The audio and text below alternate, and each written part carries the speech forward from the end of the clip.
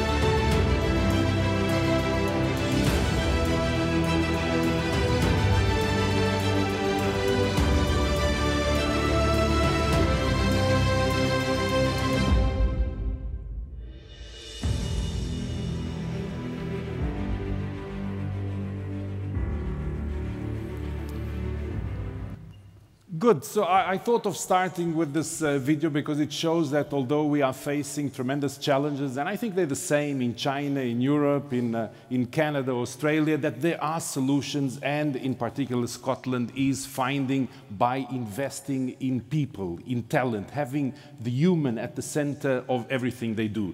Now, I would like to engage with the audience. You know that you have free Wi Fi here in uh, Kursaal, so if you don't have uh, a mobile connection, you can go and just just connect very quickly because I need your participation. I need you to engage in this. So if you can please get your mobile phones out and uh, make sure you have an internet connection. And then you can just either go to slido.com and when it asks you for the event, you put WFCP 2022, or if you want, just take a photo of that QR code. It should take you to the website. Can you please do that? Because I'll need your participation here. Okay, I hope you've done it, but if, uh, if you haven't done it yet, just remember slido.com WF, uh, WFCP 2022.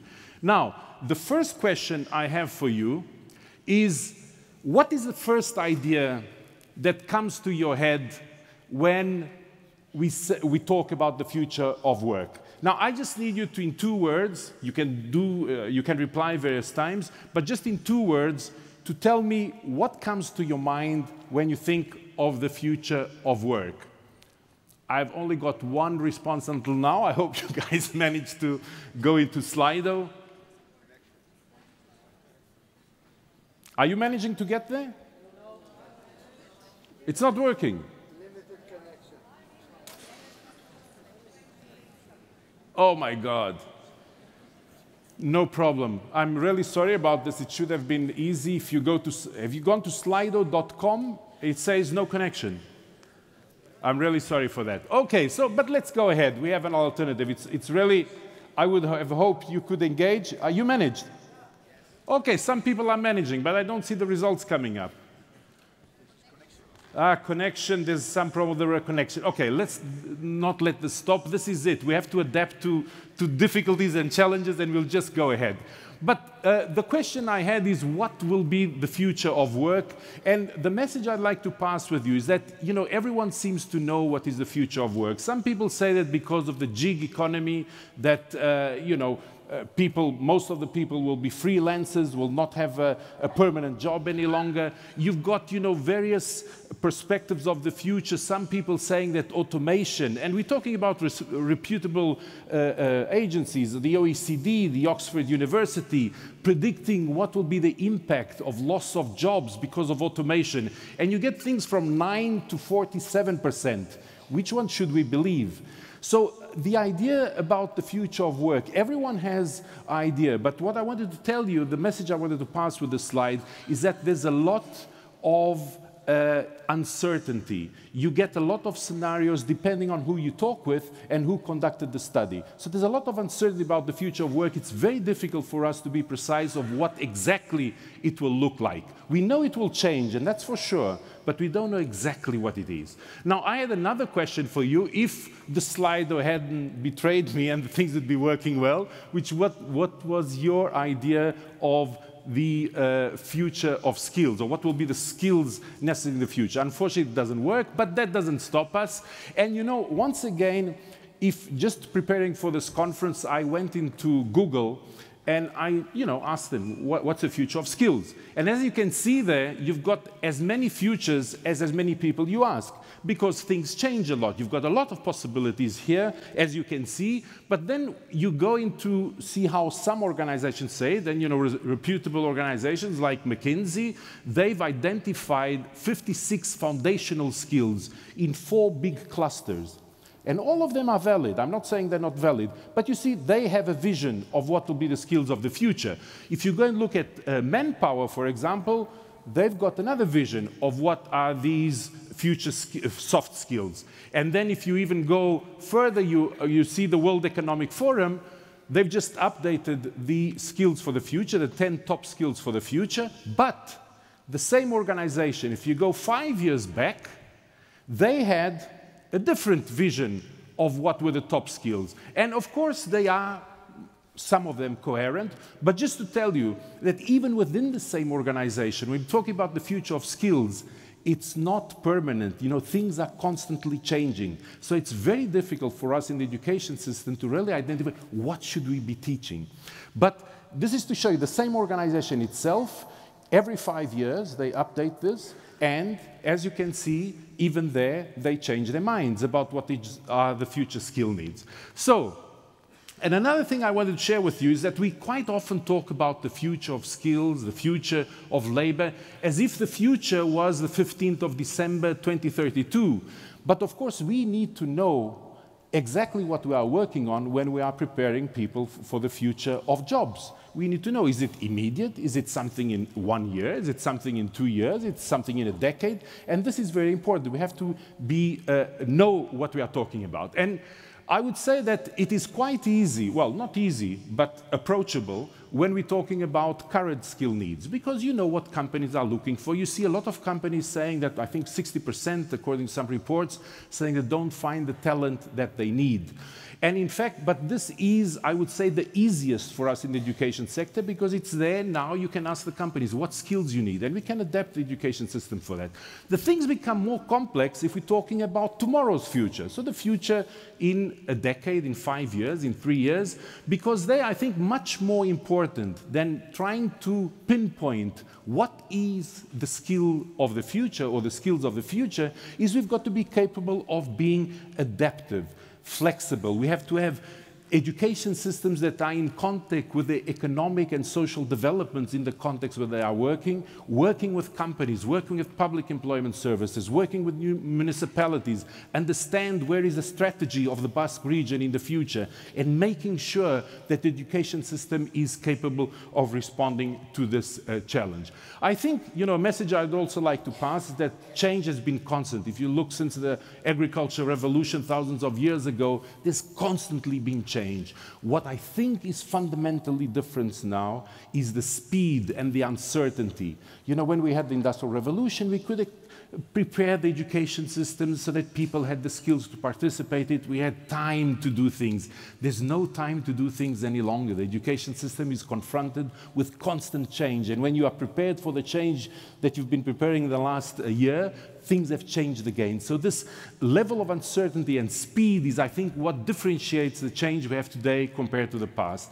And just, you've all seen this before from Charles Darwin, that, you know, the species that survives is not necessarily the most intelligent or the strongest, it's the one that is capable of adapting to change. And I think change is the key word of uh, what I'd like to uh, Uh, explain to you today. So the truth is that, in fact, when we're talking about the future of skills, and I, the challenge I had was to talk about the future of work and skills, of course, we have we, ideas of where it is going. And of course, we have to prepare the education system for that. But I would say that the truth is that nobody really knows. We don't know. I mean, three years ago, who could have imagined COVID? Who can, could have imagined that millions of people all over the world, from one day to the other, would change the ways of teaching and learning? Teachers would be in front of a computer, learners would be in front of a computer home, those that had the luck to have good internet uh, connection and a good computer at home our life changed radically because of COVID.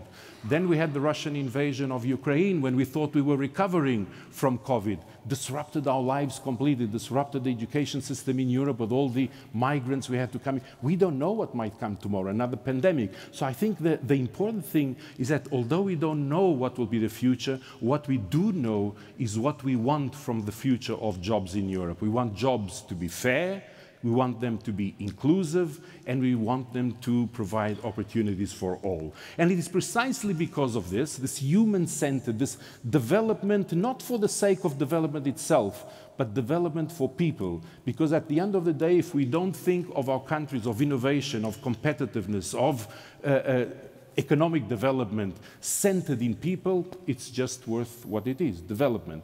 And what we've tried to do in Europe, and with this European pillar of social rights, is define 20 key principles that should underpin everything we do for the future of work, in Europe, the European social model, if you want. And there are four of these principles that touch in particular on education and training. The first one is to ensure that everyone has access to education and training in a lifelong learning perspective, but then can I get back to, oh, thank you.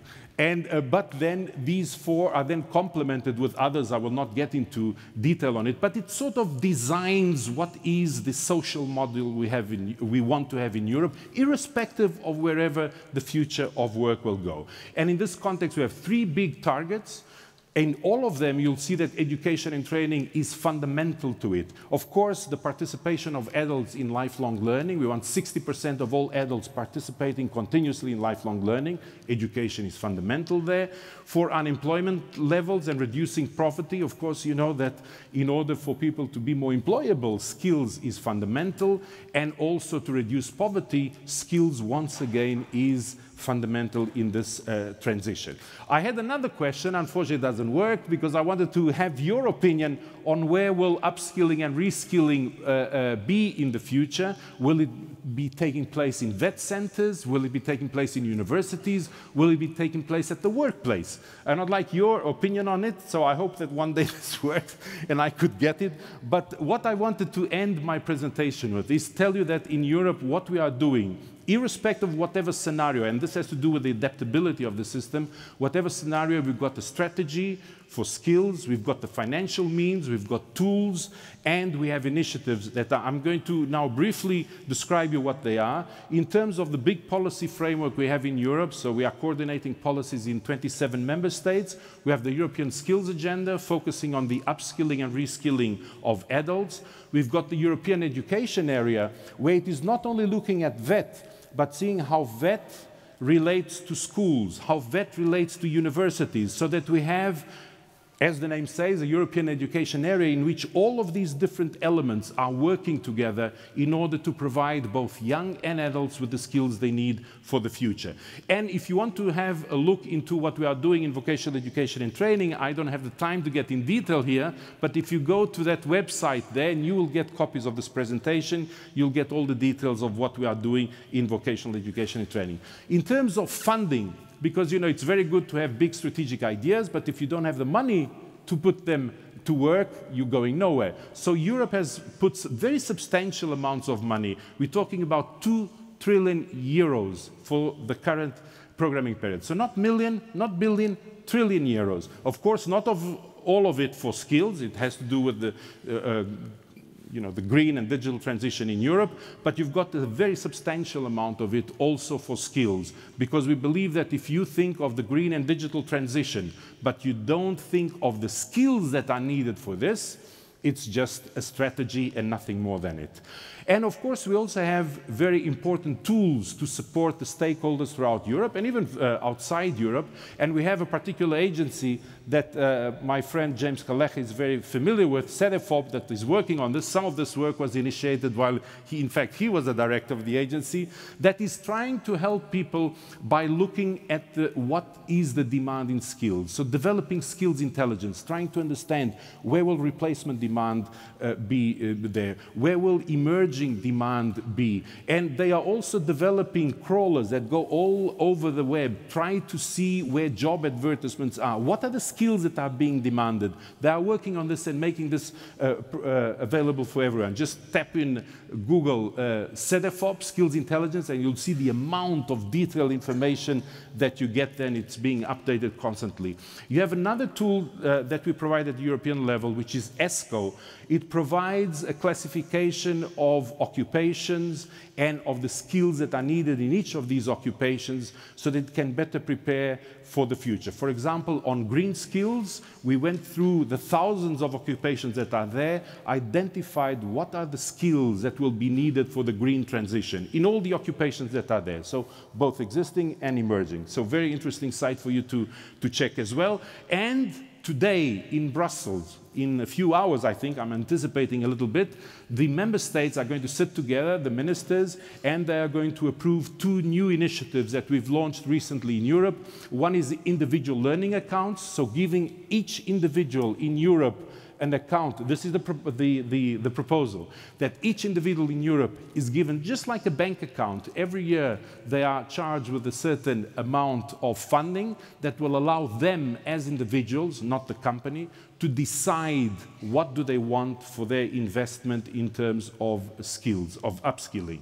And the other one is on micro-credentials. Everyone has heard a lot about micro-credentials. It's a flexible way of making sure that, in particular, adults that want to upskill and reskill don't have to sit through a full qualification, but in particular, nuggets of uh, uh, skills, they can upgrade the skills and be uh, immediately active in the labor market. So these are some of the tools we are using.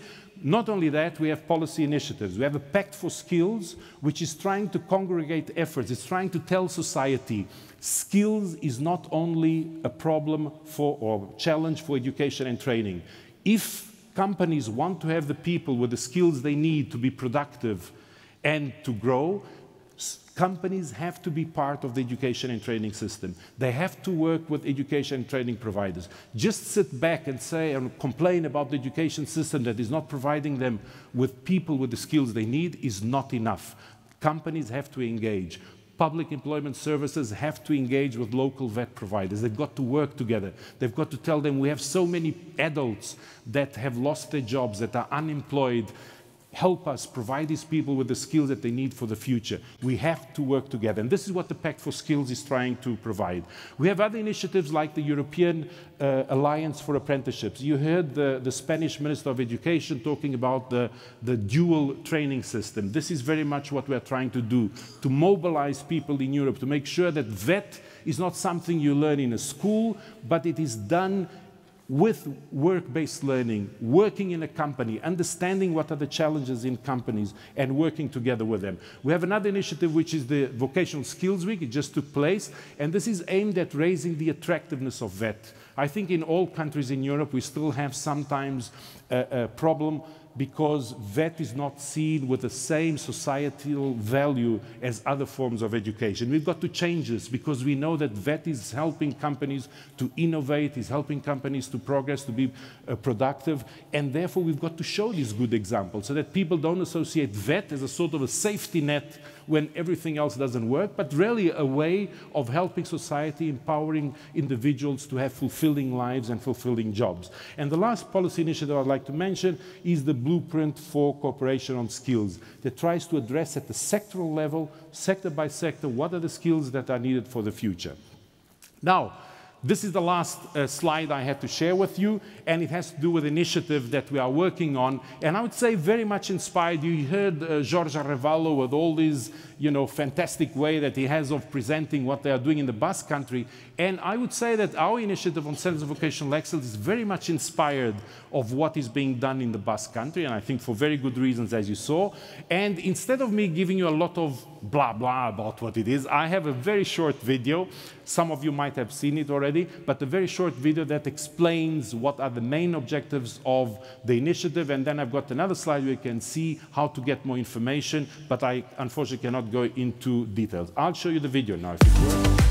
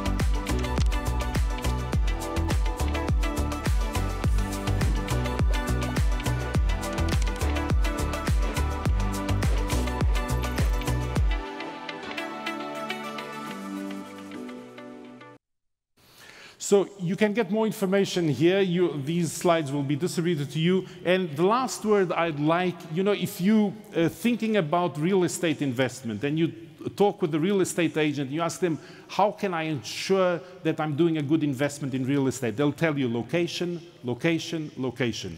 Now, what the message I wanted to leave with you is that if we're talking about the future, empowering people for fulfilling jobs and for quality jobs and fulfilling lives, it's all about learning, learning, and learning.